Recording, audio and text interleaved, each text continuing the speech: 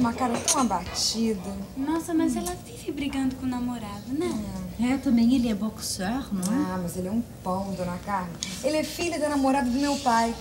Ah, é? Namorado de quem? Do, do meu pai, do Álvaro. Na- namorado da do Álvaro? É- é, a dona- mãe do... Isso, a dona Marta. Peraí, eu acho que ele fez xixi aqui. Peraí. meu Deus. Vem cá, meu amor. Vem cá com a mamãe. Vamos trocar. Mas vai ser Ela uma toninha, todinho. Mulher te ajudo, Cristina. Tem umas fraldas passadas lá Ah, que bom. Você tem tanto jeito com criança, minha filha. Não pensa em ter filhos próprios? Bom, Mamãe, Ela não quer estragar o corpinho, é isso. mamãe, a senhora já. Já trouxe pra Ana uns biscoitinhos, uns docinhos lá de Minas. Ah, os docinhos Os docinhos, mineiros. isso. Ah, você precisa provar. Com licença, eu vou buscar. Essa receita está na minha família há muitos anos. ah, obrigada. E com você, tudo bem? Tudo ótimo. Que bom que você vai trabalhar com Barreto, né? É. Tomei coragem e fui falar com ele. Eu devo começar amanhã, mais tardar depois da manhã. Mas você acha que vai ser bom pra você, Luiz Fernando? É um trabalho, né? É, eu sei, mas. Será que tem alguma coisa pra você fazer lá? Tem.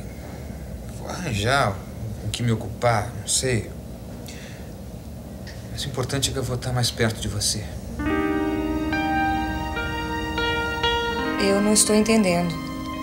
Eu vou raramente ao escritório. O que eu quis dizer é que eu vou me sentir mais próximo de você. Trabalhando com meu marido? De qualquer forma, eu vou estar um pouco mais perto de todo esse carinho que você sente por mim. Mesmo que seja na condição de cunhado. Aqui está, eu faço questão que você prove um. Fui eu mesma que fiz. Obrigada. Nando, você adora. Ah, vou, vou comer sim.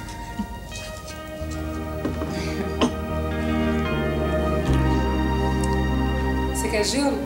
Uma pedrinha, por favor. É um milagre essa calmaria aqui, hein? Sempre tão cheio de gente. Armando, não muda de assunto. Eu te fiz uma pergunta. Não tem nada a ver, Mara. Tem sim. Depois que a Ana me deu o recado, é que eu me dei conta. Você tá imaginando coisas, Mara. Você vivia fugindo do Barreto.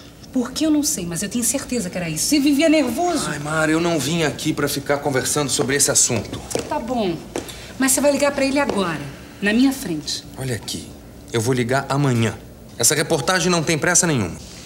Se você não ligar agora, Armando, eu ligo. Você teve sorte que eu fiquei até mais tarde no escritório, Armando. É, nós temos vários assuntos a tratar. Assuntos urgentes. Você pode estar aqui no meu escritório amanhã às 10 horas? Ótimo. Então eu te espero. Amanhã de manhã, às 10 horas. Até lá. Ah, mas, doutor Barreto, não foi esta a hora que o senhor marcou com outro, com o Luiz Fernando? Por isso mesmo, Esteves. Exatamente por isso. Tá mais tranquilo agora? Não sei por quê. Por que você não se abre comigo, Armando? Você tá se queixando do quê, Mara? Esses dias você só tem reclamado, falado de medos. A pessoa que tava comigo era uma estranha. Eu não sei o que que é. Olha aqui, Mara. Eu não me meto mais na sua vida, não é? Então, por favor, não se meta na minha.